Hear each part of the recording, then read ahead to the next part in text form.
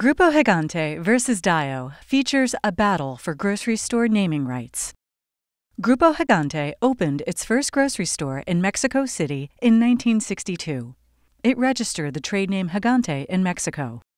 By 1991, Grupo Gigante had almost 100 stores in Mexico using the mark Gigante, including two stores in Tijuana, just across the border from San Diego. In 1991, Michael Dallo opened a grocery store in San Diego. He called it Gigante Market. In 1996, Dallo opened another Gigante Market in San Diego. Grupo Gigante learned of Dallo's Gigante Market in 1995 when it began investigating expansion into California.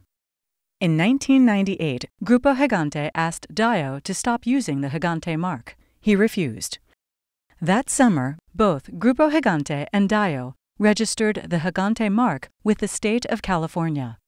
In 1999 and 2000, Grupo Gigante opened three stores in the Los Angeles area, all named Gigante, like the Mexican stores. Dallo now asked Grupo Gigante to stop using the name Gigante. Grupo Gigante sued Dallo, alleging trademark infringement. It claimed the superior right to use the name Gigante. Dallo counterclaimed on the same theory. The district court held that Grupo Gigante had a valid protectable interest in the Gigante name. The territoriality principle would ordinarily entitle Dallo to claim the mark as the first user in the United States.